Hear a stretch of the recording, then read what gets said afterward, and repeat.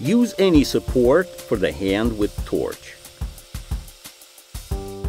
The plasma jet shoots through the molten metal. Sparks leave from the opposite side of the cut, not to the side.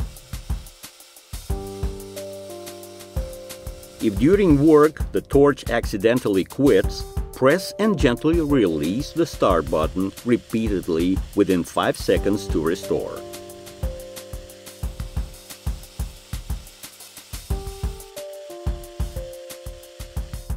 Control the burr to one or to the other part of the detail cut by changing the angle of the torch.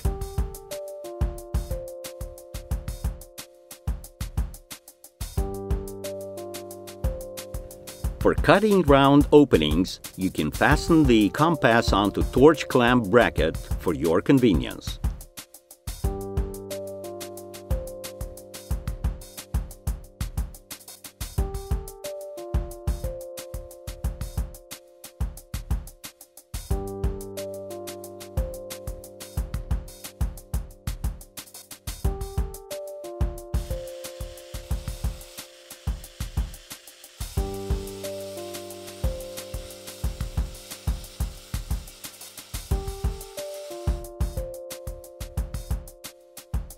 Alternatively, put a ball support for obtaining a straight cut.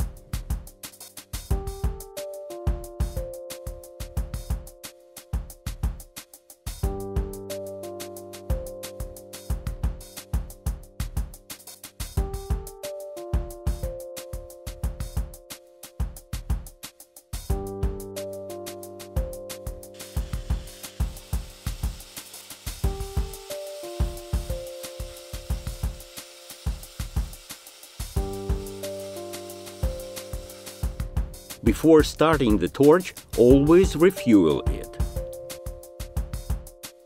Watch that on the nozzle surface, the fuse sparks do not accumulate. Clean off with a metal brush.